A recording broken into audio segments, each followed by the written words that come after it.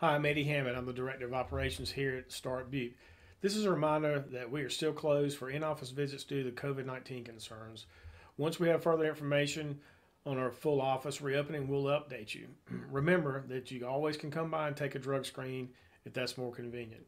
As a part of our program compliance, remember you must have a drug screen submitted every month and you must respond to medication counts when requested. Also, as a reminder, StartBupe will be closed here Friday, July 3rd for the 4th of July holiday.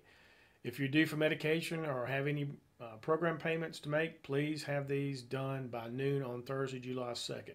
If you need to make any kind of arrangements regarding these payments, please call Lisa Castle on Extension 2 during the week.